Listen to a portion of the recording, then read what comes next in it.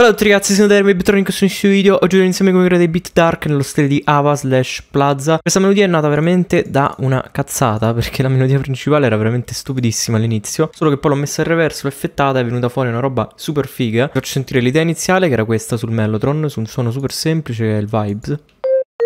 In realtà credo che questa sia la versione della melodia già reversata, infatti originariamente doveva essere tipo così.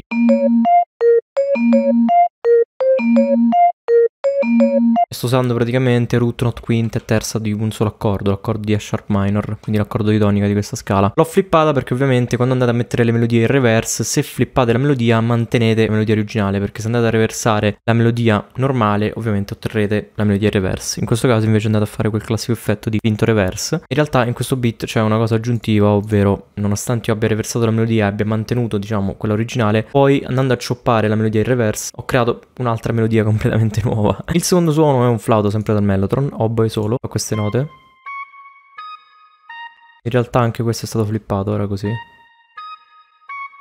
Dà una bella texture comunque sull'altra melodia. Soprattutto in quella reverse, poi il pattern che fanno queste note è andato a incastrare perfettamente. Gli effetti che ci ho messo sopra sono principalmente un RC20 per sporcare un po', Crystallizer per dare un piccolissimo effetto di reverse di sottofondo, ma si sente davvero pochissimo, un po' di Fab Filter, poi ho semplicemente renderizzato la melodia, cioè l'ho registrata su Edison, veniva fuori in questo modo.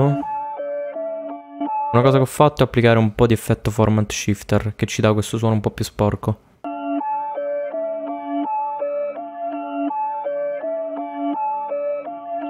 Come potete sentire suona già molto più ritmico e molto più trap rispetto a quella melodia originale che era veramente oscena e orrenda. Quindi alla fine è venuto fuori in questo modo.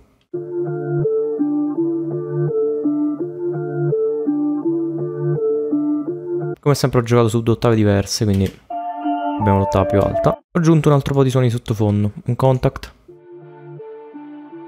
Fa questa root note di rinforzo e basta praticamente. Ho giocato un po' con il filtro per chiuderlo in alcuni punti, se non sbaglio. Quindi ad esempio qui si sente un po' di meno. Anche all'inizio in realtà l'ho chiuso un po' di più e l'ho fatto sentire solo nel ritornello.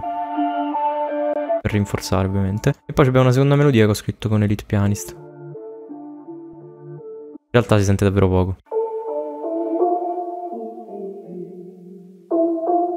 Quello che sto facendo con l'Elite Pianist è risuonare le note dell'accordo aggiungendo qualche nota sospesa in più. E poi ho aggiunto una drums abbastanza banale, siamo a 167 bpm quindi molto veloci, non c'è bisogno di esagerare con i roll e altre robe. Il feeling che ci dà la drums a questo bpm è molto il classico feeling appunto Plaza slash Drake. Ho un clap classico sul terzo beat. Con un colpo sull'off beat qui. Poi abbiamo uno snare di rinforzo in alcuni punti. Fare questi colpi poi abbiamo un openet sul secondo bit.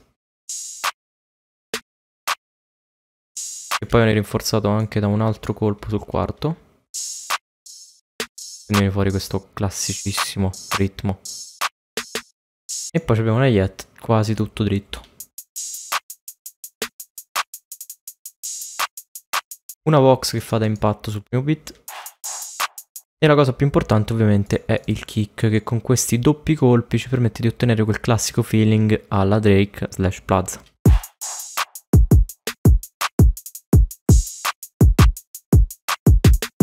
Quindi è molto importante andare a doppiare il kick, soprattutto in questi punti qui, quindi sul quarto beat e anche qui ad esempio, sul secondo beat della seconda barra. Un'altra cosa che ho fatto che rende questo pattern di kick molto interessante è utilizzare questo colpo qui che finisce sul secondo beat. È strano da sentire perché rende la drums un pochettino più statica, però allo stesso modo crea un po' un feeling di rinforzo e anche di sorpresa perché è difficile sentire un kick messo in quel punto, è raro che venga utilizzato. in realtà abbiamo già la melodia che sta facendo un ritmo abbastanza simile. Se non sbaglio all'inizio della melodia la root note viene doppiata due volte, quindi si sente sul primo beat e sul secondo, quindi già c'è questa specie di ritmo che vado ad enfatizzare con il kick. Infine abbiamo il basso, semplicissimo, va a seguire la root note principale e il pattern di kick.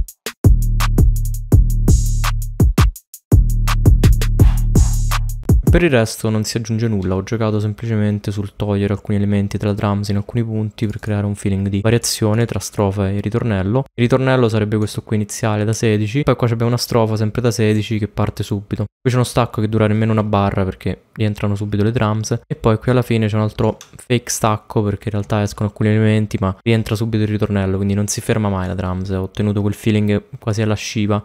E quindi alla fine viene così, è molto molto semplice.